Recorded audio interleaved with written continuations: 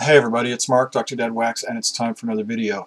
Today I'm going to show you some uh, truly out of this world VCLT that I got today. Uh, a, a, couple months ago now, um, somebody watches my videos, but he doesn't make videos. His name, his name is Paul. He wrote me, and uh, we've had some contact through the comments just in the past. But he wrote me and he asked me for my address because he said he wanted to send me uh, something, and I said, you know, I, I'm just it. You don't have to send me anything. It's just I'm touched that you want to. And he said, well, send me your address. I'll send you something. And uh, I sent it to him, and he sent it to my U.S. address because uh, he's in the states, and it's just easy. It was easier for him. And uh, I've been sick for like six weeks, so I haven't had a chance to get down there and pick it up. But I saw that it had arrived. You can track everything online through this place.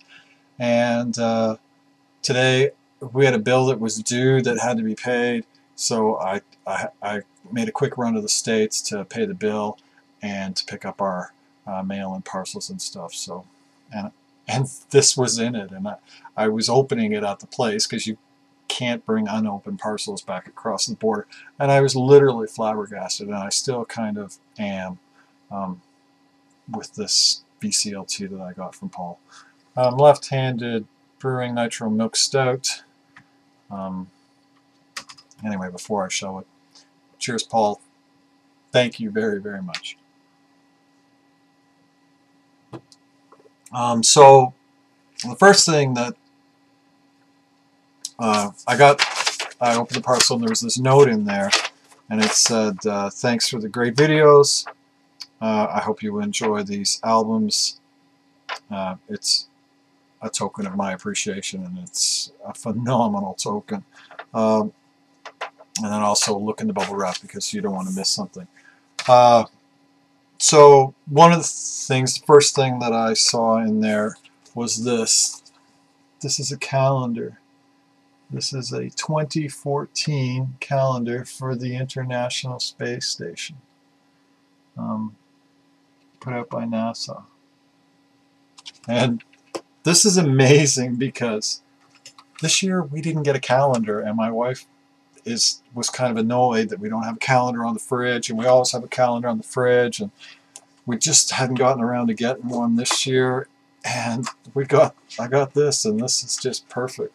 Um, I showed it to her earlier and she absolutely loves it and had already hung it up on the fridge so um, this is the one for this month. This is a fish they have on the space station that they use to study um, microgravity on its bones and because it's like see-through. It.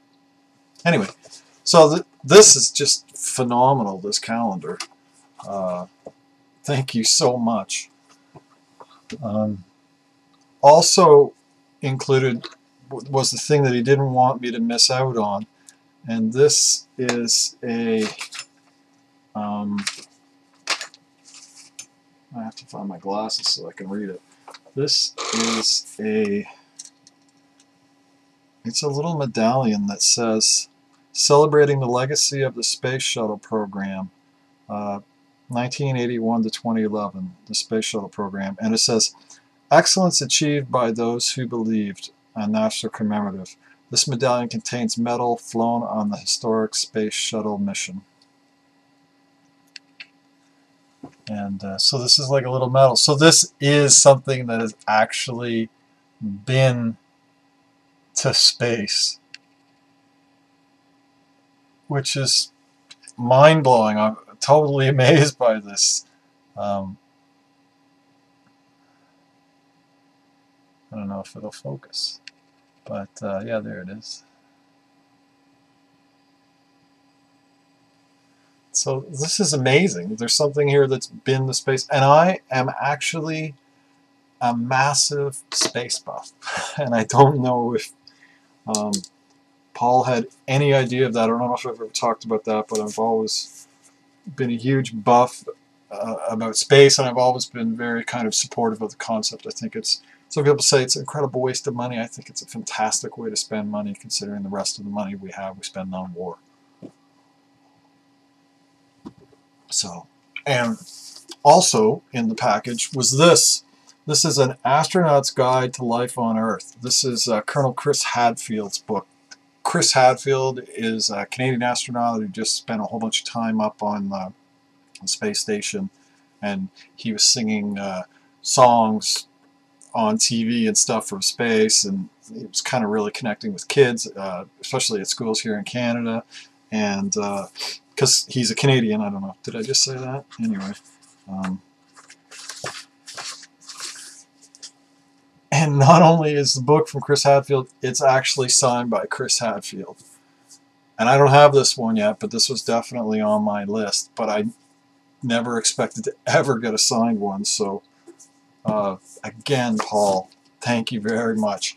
And I don't know if you are quite aware of how much that means to me, but uh, this is another Canadian astronaut's book. This is uh, Roberta Bondar, Touching the Earth, and uh, this is signed by her.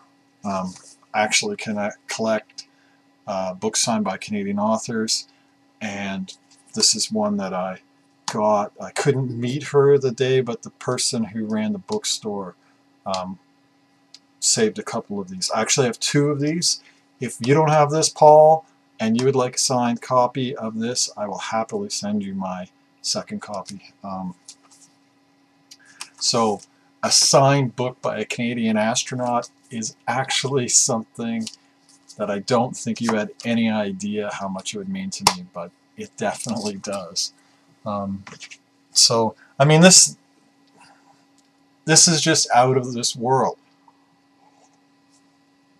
And the box that I got was about this big because inside of it were two record mailers, like the super ones that fold like four times upon each other. Anyways, um, in the record mailers were these. Um, and again, I, I'm blown away. This is Horace Silver and the Jazz Messengers Blue Note 1518. So this is a really early Blue Note recording. Um, now this is a modern reissue, but these are the Blue Note uh, Definitive 45 RPM series. These are called uh, the Music Matters pressings. And uh, you can see it here. Music Matters. So these are one record split over two records that spin at 45 RPM. And basically, if you can't afford first pressings of Blue Note records, but you want records that sound as good, well, these are they. There you go. These are they. These, I, I, I have none of these in my collection. Um, they're not cheap, uh, but uh, so this would be probably a, a Blue Note Lexington. Uh, this would run you, you know, easily a thousand dollars for an original Lexington. Easily, like three some days uh, for one that would be in the same, in similar to, to condition to what these are. Uh, do you want to come up? I don't think she's going to stop crying until she gets on camera. So, uh, and now she's gone. So these are phenomenal. I've heard these at friends' houses, and they are just as good as it gets. And these are reissues done right. Um, I wouldn't say that they're definitive, but they are as close to definitive. You can't tell the difference, basically. And every one that I've ever heard, I've been just I've fallen in love with. These are available on a subscription service. Um, you get two records every six weeks. I think these run $59, $60 a piece. And they mail them out to you, and I would love a subscription to these, but I simply cannot afford them. This is not a subscription one because it doesn't have a number. Um, they sell them individually and they're not uh, numbered and then they sell subscriptions and they do actually have a number on them. So this is actually a Horace Silver record that I do not have at all in any form except digitally. Um, I have FLAC of this, and this is a great album. So, um, and they're all sealed. They have this tear off strip, this kind of perforation here that you you just pull. Well, these are going to not stay sealed. I'm not running a museum here. These are going to be listened to. So let's open it up and uh, have a look at it. So gorgeous gatefolds. Um, I don't want to crack that too much, but and uh, you know, they come in these. Uh, oh, this is awesome. They come in this kind of pinkish plastic inner sleeve, and it's got the reproduction of the label, which is a Lexington. And because it says micro groove, we know that that's a mono. So um, and these I think are on 180 or 200 gram vinyl. I could go through it on the scale, but and uh, just phenomenal looking vinyl. And so these have this one here has two songs on each side. Oh, it has Dead Wax too. Uh,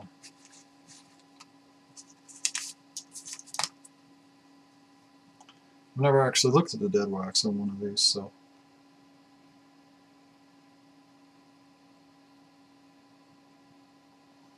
Just has production codes and things like that. So,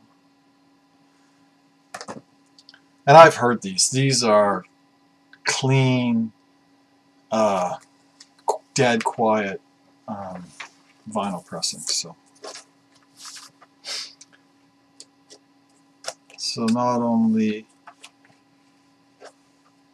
did Paul send me the amazing books and calendar and medallion, he sent me this as well and that is amazing. But that's not all. There's another one. Into Something, Larry Young. I've never heard this record. Um, this has uh, Sam Rivers, Grant Green, and Elvin Jones on it. And uh, this is a stereo one, because it's a stereo up here. And uh, this is a later pressing. This is a uh, from the 47 West 63rd period. Um, again, these are going to be adored, so um,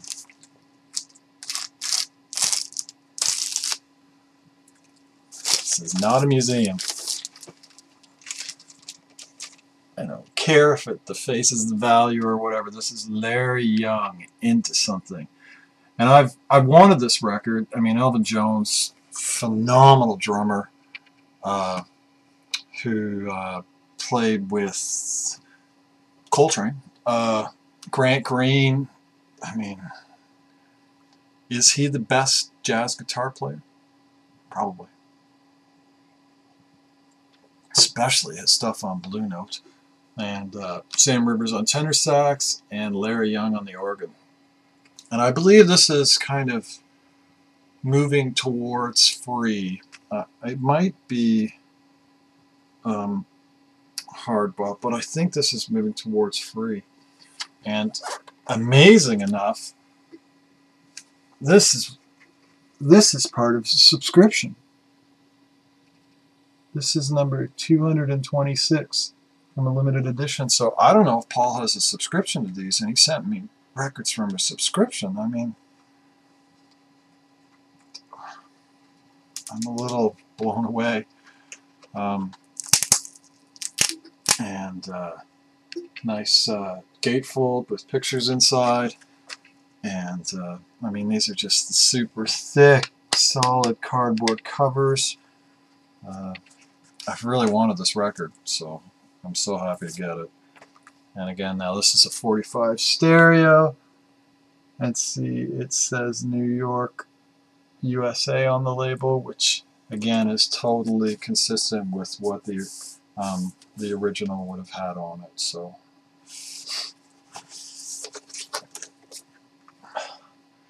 I'm so excited to have this. I just cannot wait to spin this. I've never heard this. I've Larry Young, Blue Note. God, I've never seen this to even have a chance to buy it in person, uh, like in any condition. And to have a 45 RPM Music Matters.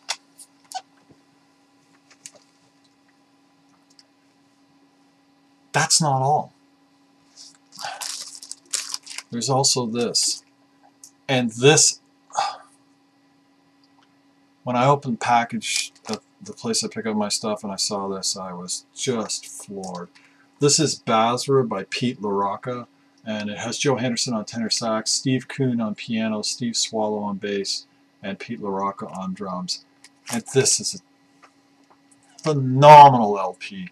Um, this record, in my opinion, is um, crossing that bridge between hard bop and free jazz. It, it, it has this wonderful in and out quality. This is a. I have a needle drop of uh, like a 70s pressing I got offline in FLAC, and uh, I love the shit out of this record, and I've never seen it in my life in person. This is uh, this is one of two records I've been trying to find. Uh, the other one is uh, Judah. I can't remember what it's called, but it's kind of got this really cool kind of green covered. Um, and both of them are records you never see. I've never seen this in person, uh, but this is phenomenal music. I love. I listen to this on my iPod when I'm walking all the time. I cannot believe I have this to listen to at home, and it's a Blue Note Music Matters. There are lots of reissues of Blue Note, but there's nothing better than Music Matters.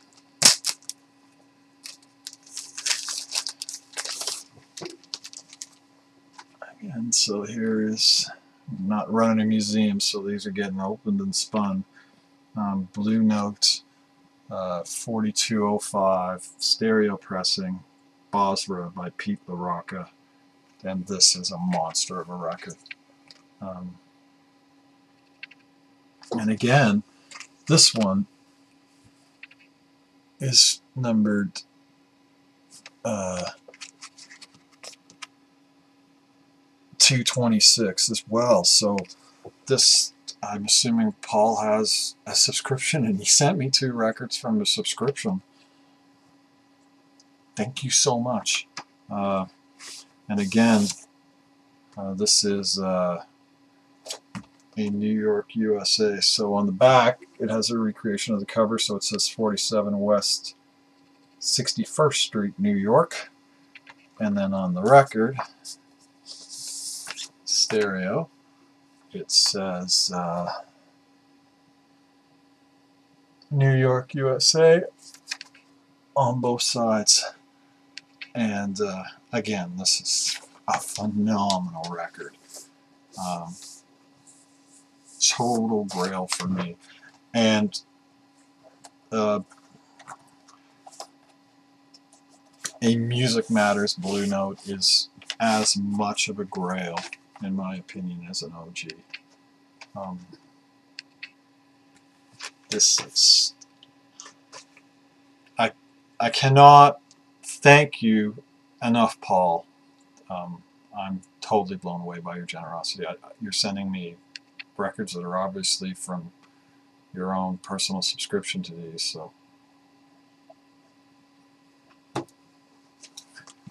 I would have a subscription to these except they top out uh, at about my budget for a month and uh, I use my budget to buy and sell gear and stuff which then I can turn into more stuff and I buy cheaper records so I can get more records but uh, if I bought these I could get anything else. But these are just just absolutely stunning and uh, I finally have some and I cannot tell you how happy that makes me to actually have some uh, Music Matters. Now these are available in Canada retail and they're a hundred bucks here so they're just stupid expensive. Oops, sorry that's my book. Um, An Astronaut's Guide to Life on Earth by Chris Hadfield. The calendar.